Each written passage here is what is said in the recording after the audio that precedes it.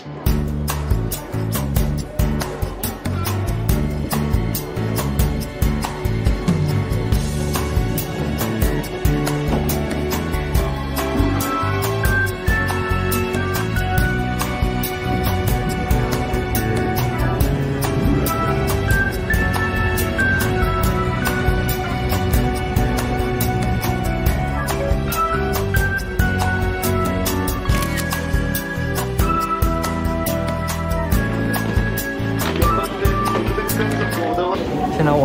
明显能感觉要比热海稍微冷一点。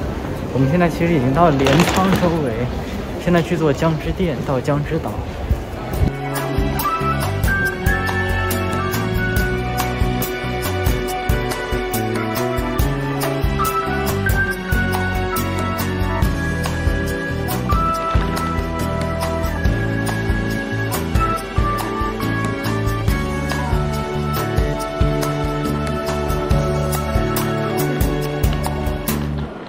江之电是一种老式电车，是专门去江之岛的一个观光电车。它很慢，但是主要是为了观光，而不是通勤。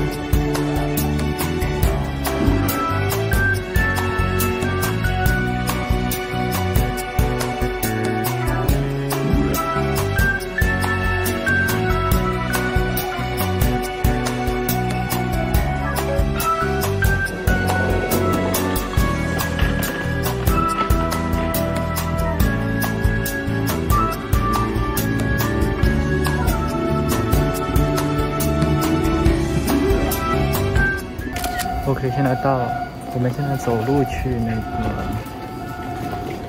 走路去江之岛，而且我在这边没有找到锁柜，也只好把它拖着，还好我把它绑了一下。它们两个现在是一体，这样子拿起来方便点，否则是太无语。这边可以坐巴士，但我觉得没有必要，我们走过去看看它走过去要多久。十六分钟，Let's go。我们首先要出站。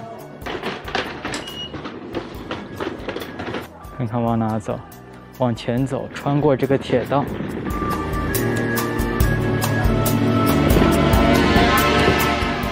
接下来就一路跟着这一条道一直走就行。现在这个晴天，太阳正好是这个中午，在太阳下是一点也不冷，很暖和。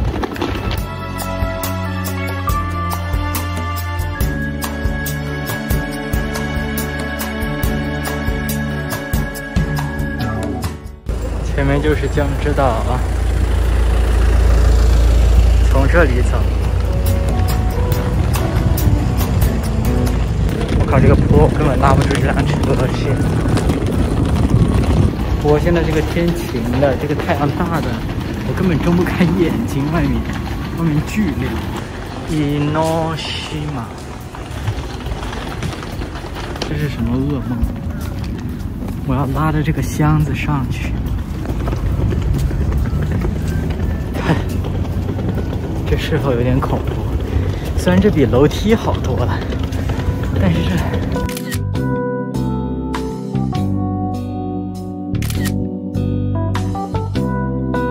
看看这个地方，太漂亮了。可惜我推着破箱子去不了海滩，否则这轮子直接陷到里面去了。哇，那是富士山吗？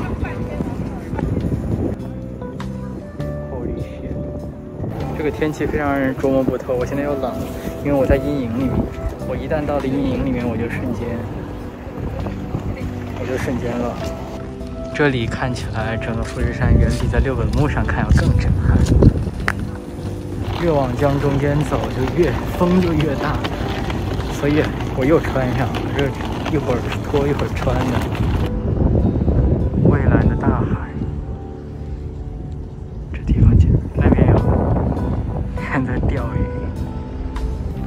镜头有一点可惜的事情就是，它没有长焦，所以你们看到那个山很小，很可惜。自己的话没有办法拍那种长焦的。长焦的合影和富士山的合影，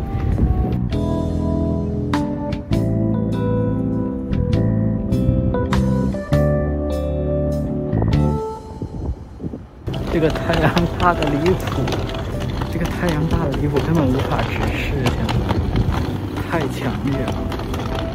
你们感受一下，这是艳阳高照，万里无云。快要到了，我拖着这个箱子虽然很方便，但我看地图说上面有很多自动扶梯可以上去，就不用爬楼梯。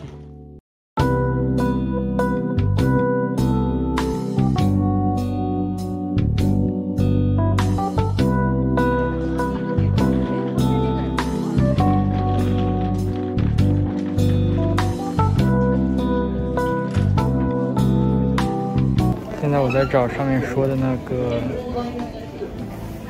电梯在哪，否则这这不可能上得去。我找到了，没想到我第一个推着箱子旅行的地方就碰巧有这么一个电梯，如果没有，这个岛就上不去了。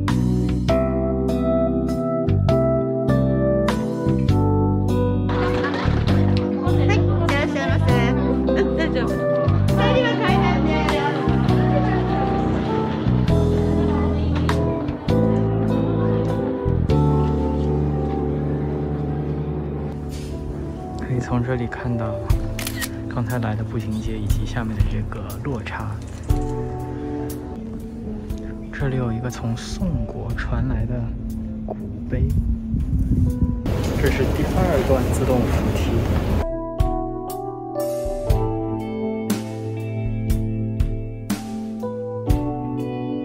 说实话，这个岛大部分是神社，但是我个人对神社这种景点又不是很有兴趣。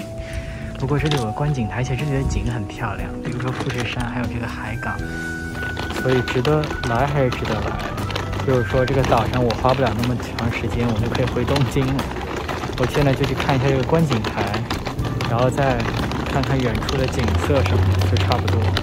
这边全都铺满了灯泡，可能是什么灯光展吧。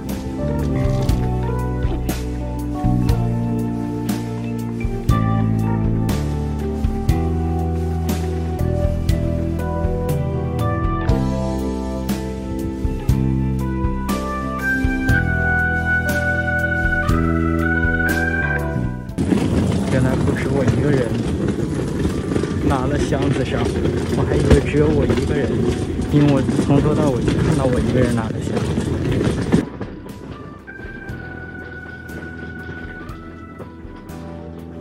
我才发现我走错了。我如果我从这边走下去是无止境的楼梯和路，我应该从另一边上观景台。现在这些灯都亮起来了。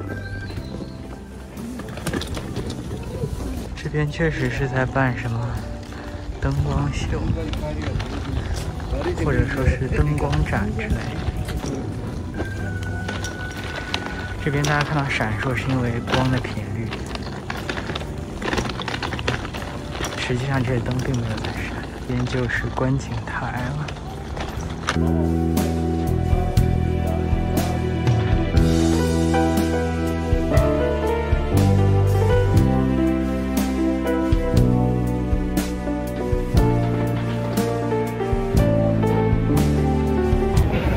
的景色也是很不错，所以这间城市的话，那边应该是镰仓，那边是现在可以看到整个江之岛的样子。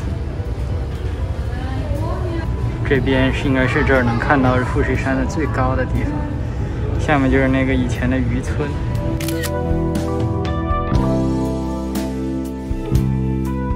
大家可能觉得这拍的照片不够纯净，因为它有玻璃的反光，但它有屋外的，屋外的应该也不是很长，要不就上去看看。看看这下面的礁石。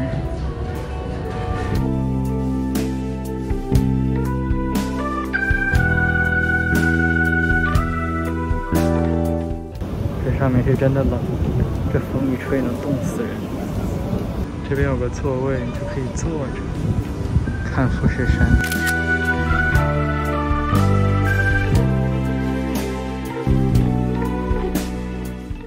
虽然我很想在这里看日落，但是我们还是要在晚上之前回到东京，所以现在就该撤了。我们首先要下山，然后坐江之电到这个镰仓站。这是一只鹰，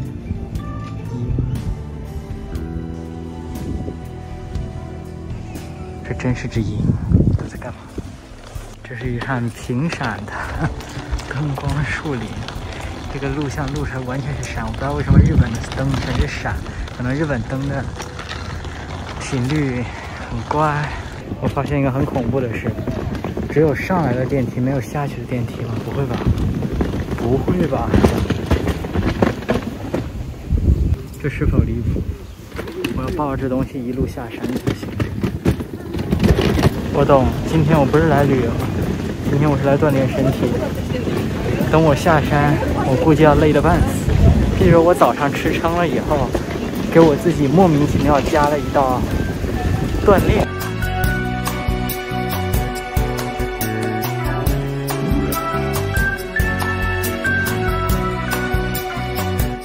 我总算下来了，我的天，太恐怖了！我这运动，我不仅是爬楼梯，我还抱着个箱子爬楼梯。还记得我跟他说我中午吃撑了吗？还抱着，我现在已经饿了，现在瞬间饿了。经过这么一番上山加下山，我感觉饥肠辘辘。这也许是个错误，但这也许是个叫什么因祸得福，因为这样我就不担心我吃太多了。有的运动量也上去以后，就没有那种罪恶感，就感觉负罪感也一扫而空了。我看到有人骑着自行车上，我都懵了，这什么意思？为什么要骑着自行车上？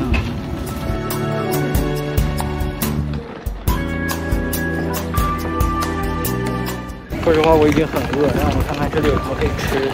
说实话，我已经很饿，要不在这觅一下食，看看这里都有什么。这里没有，我们就回东京。可以试试这个大鱿鱼，这是一整只鱿鱼的烧。虽然我其实不是很喜欢吃鱿鱼，但是来了就要试试。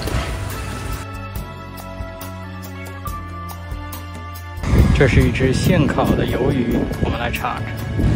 我还是怎么说呢？不是很喜欢吃鱿鱼，没法评价。就这种食物，它就不适合我。由于实在是不想走了，现在我们试试乘日本的公交车。这是第一次乘公交车，之前只乘过地铁什么的。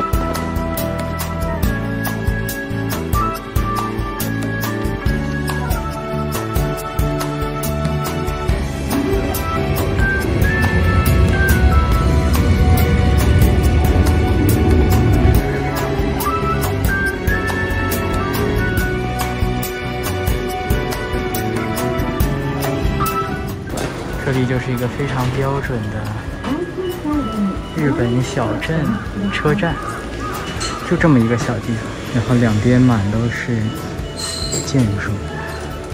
刚才那个鱿鱼，由于早上风太大，没吃两口就凉，所以还挺浪费。因为本来它口感就变得更差了，再凉了以后。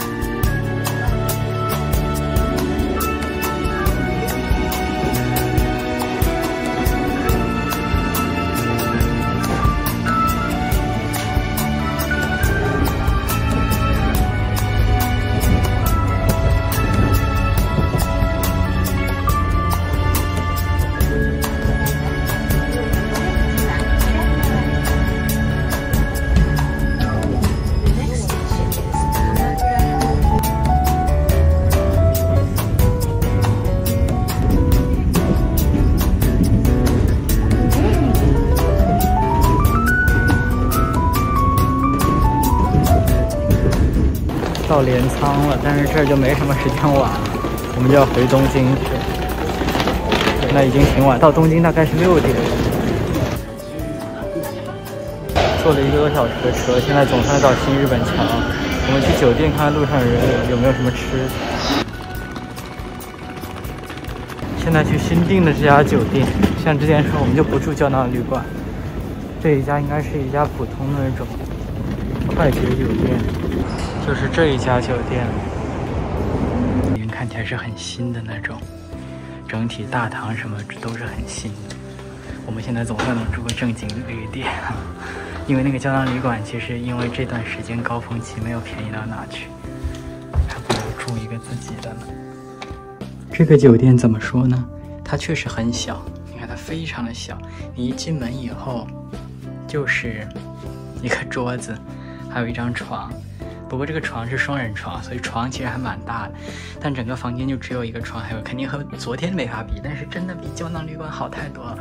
我们在里面真的能自己放松了，因为起码门能锁。我现在我真的我这辈子再也不住胶囊旅馆了，还是真的受不了啊！体验体验就算了，再也不住了，真的受不了。然后你看它很干净，真的，它比胶囊旅馆还要干净。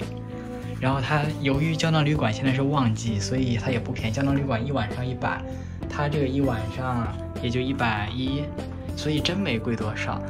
如果胶囊旅馆的话，你如果想住再差一点的，当然能更便宜，但它很干净，你看，整体，哎呦我去，这个门有个坎，